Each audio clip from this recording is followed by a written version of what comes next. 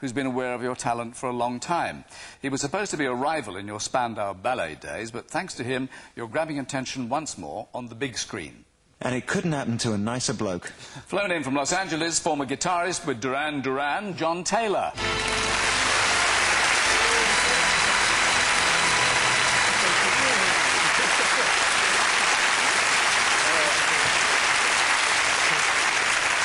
So you were pleased to help him, obviously. I, I, I was. Well, we were, we were always good friends in the, uh, the old days. We don't like to call it the old days, but the Spandau Ballet Duran Duran days. Uh, and yeah, I was doing a, a, a, film actually last year, and it was the first time that I'd had an experience like that. And I was, there was one of the cast members was, uh, was a Cockney. Yeah.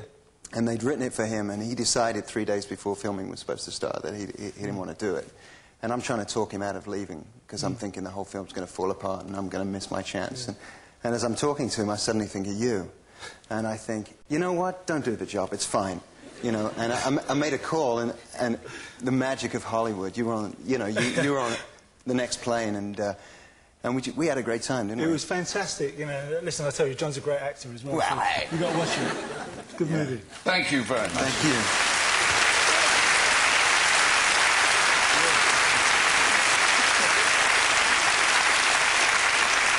you. Well.